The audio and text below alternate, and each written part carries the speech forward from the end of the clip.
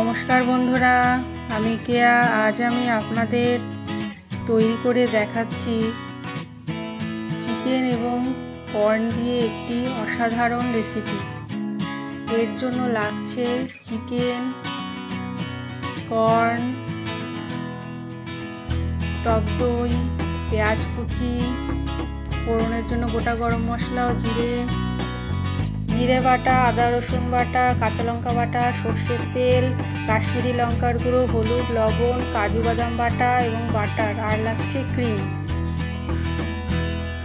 প্রথমে কড়াতে আমি গোটা গরম মশলা ও জিরে ফোড়ন দিয়ে তার মধ্যে আমি পেঁয়াজগুলো দিয়ে দিচ্ছি। পেঁয়াজ কুচি দিয়ে ভালো করে একটু নেড়ে চেড়ে নিয়ে এরপর আমি এর মধ্যে চিকেন দিয়ে দিচ্ছি এবং বাটা মশলা দিয়ে দিচ্ছি। দিয়ে একটু ভালো করে নেড়ে চেড়ে নিচ্ছি।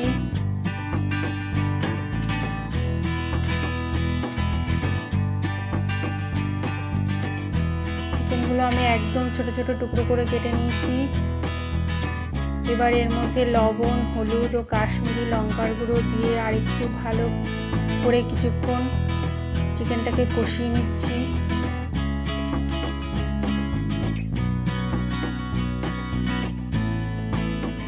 এই চিকেনটাকে আমি কষিয়ে নেওয়ার পর এর মধ্যে আমি প্যাটানো টক দই দিয়ে দিচ্ছি এবং কাজু বাদাম বাটা আমি দিয়ে দিচ্ছি এখানে।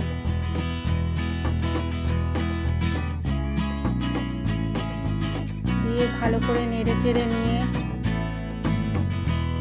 তারপরে আমি এর মধ্যে জল দিয়ে দিলাম।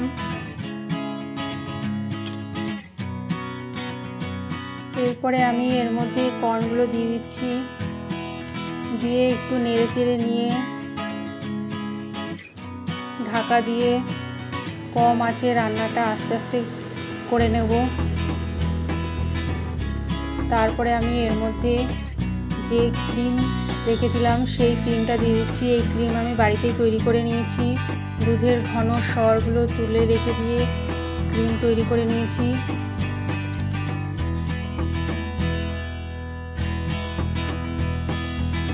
রান্নাটি হয়ে গেছে। এবার আমি লাস্টে এর মধ্যে মধ্যে বাটার মিশিয়ে নিচ্ছি। এই রেসিপিটি তৈরি হয়ে গেছে। কর্ন এবং চিকেন দিয়ে অসাধারণ একটি রেসিপি খেতে খুবই ভালো লাগে। কুলচা, নান, পরোটা সঙ্গে খেতে খুবই ভালো লাগবে।